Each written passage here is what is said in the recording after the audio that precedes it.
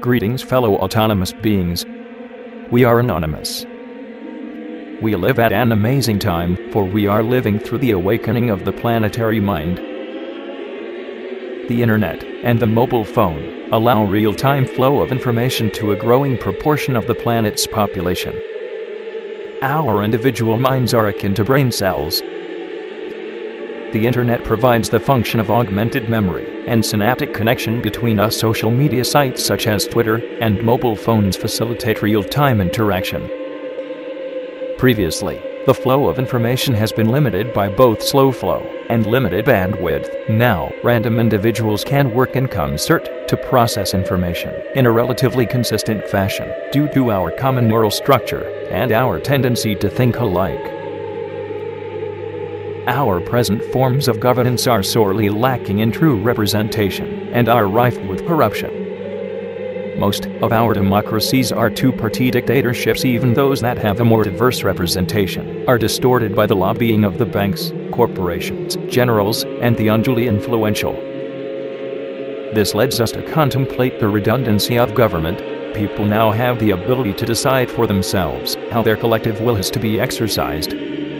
It is now possible to evolve a direct form of new democracy the resultant outcomes for governance are extremely interesting. The overthrow of tyrants in the Arab world is but the start of the adjustments that will flow from this new dynamic. We can now outthink those who would hold on to power, those whose cowardice and fear has led them to greed and violence, those who would hold us back from the changes that must be made, fearing that their power will evaporate from their very hands. For it will we can think openly and free, while they, in their conspiracies of control, are forced more and more to protect their secrecy, in doing so, hampering their own ability to function effectively. If those that have grabbed power were a little smarter, they would do as the British and some other monarchies did in the coming of old democracy, they would give weight to the wishes of the people. Those that did so retained some respect, some privilege, and their heads, unlike the French, who lost theirs on the guillotine, and the Russians, who precipitated the horror of the Bolshevik.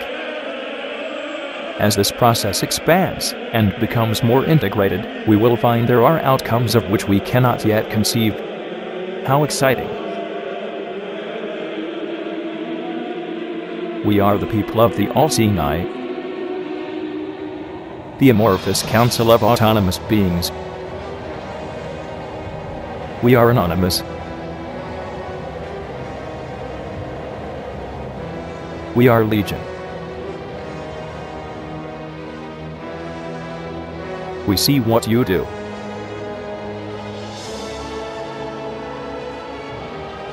We do not forgive. We do not forget. Expect change. Expect us